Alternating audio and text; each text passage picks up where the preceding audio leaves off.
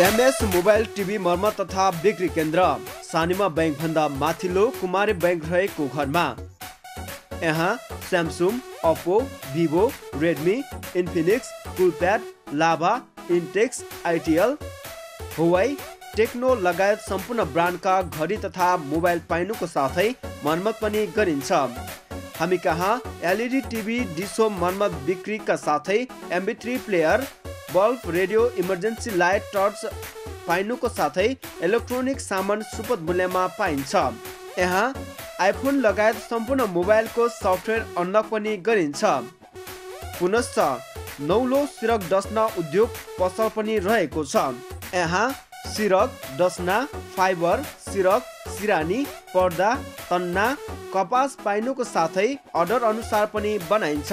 Proprietor Sanjad Alam.